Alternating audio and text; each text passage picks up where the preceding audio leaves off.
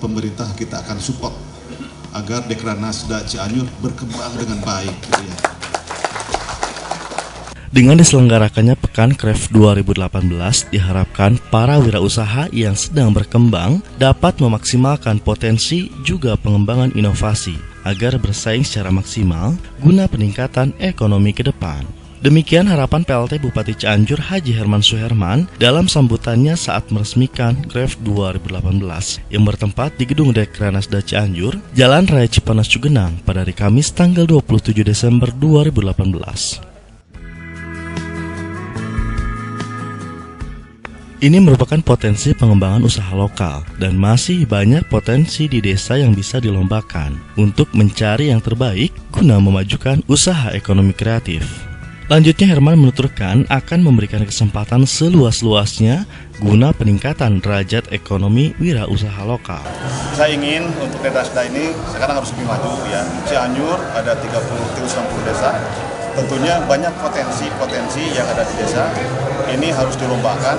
Nanti kita ambil produk yang terbaik untuk memajukan Dekranasda nanti ada produk yang bisa dijual nasional atau internasional Himam Haris, Kepala Dinas Koperasi UKM Perindustrian dan Peragangan Kabupaten Cianjur, selaku panitia mengatakan bahwa Pekan Kref atau Pekan Raya Kria tersebut diselenggarakan mulai tanggal 27 sampai dengan tanggal 28 Desember 2018. Adapun maksud dan tujuan diselenggarakannya kegiatan tersebut agar para wirausaha mendapatkan motivasi untuk lebih meningkatkan kemampuan dalam berwirausaha dan daya saing dalam produk masing-masing. Dan diharapkan kegiatan ini diselenggarakan secara rutin setiap tahun dan tentunya ditindaklanjuti dengan pembinaan.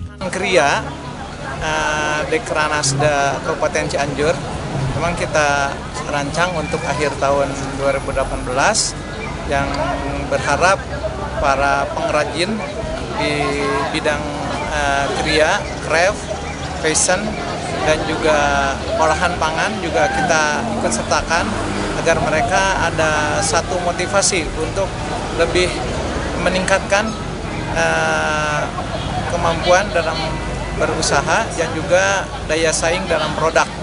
Dan kita harapkan nanti kegiatan ini adalah kegiatan yang rutin dilaksanakan setiap tahun dan kita akan tindak lanjuti dengan pembinaan-pembinaan Wakil Ketua Dekranasda Kabupaten Cianjur, Hajah Anita Sincayani mengharapkan seluruh pengurus Dekranasda agar dapat berperan aktif serta menjadi tanggung jawab untuk menciptakan para pengrajin dan pelaku usaha yang memiliki kreativitas tinggi yang nantinya dapat memberikan sumbangsi dalam pembangunan yang berbasis ekonomi kreatif.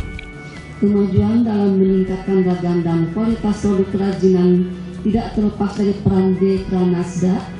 Untuk itu saya sangat berharap kepada pengurus dan anggota Dekranasda agar dapat berperan aktif dan menjadi tanggung jawab moral untuk menciptakan para perajin dan pelaku usaha yang memiliki kreativitas tinggi sehingga nantinya dapat memberikan sumbangsih dalam pembangunan daerah yang berbasis ekonomi kreatif.